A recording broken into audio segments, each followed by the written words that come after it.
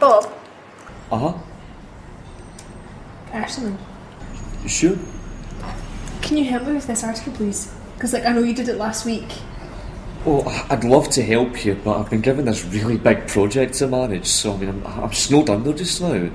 Really, I'd like to help you with it, but my hands are tied, you know? I mean, maybe if I get it finished on time or a bit early, then I can come and have a look at it for you, but Yeah. it's not much I can do, you know?